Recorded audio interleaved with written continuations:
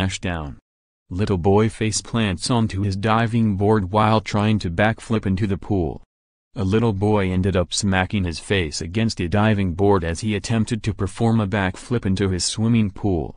The youngster, called Noah, prepared for the acrobatics as he stood at the end of the board before preparing to launch himself into the air. After a couple of seconds of thought, he finally propelled himself high above the blue waters. For a brief moment, Noah looked graceful as he soared high above the diving board as his friends looked on. But while he managed to gain the required height, he did not succeed when it came to distancing himself from the side of the swimming pool. As gravity began to exert its pull, Noah came back down to earth with a bump.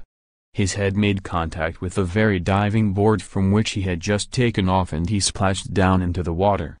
A shocked friend sitting at the side of the pool placed his hands over his mouth in shock. Noah scored a 9.5 today. I'm sure next time will be a perfect 10. So close buddy. Wrote a friend who posted the video online.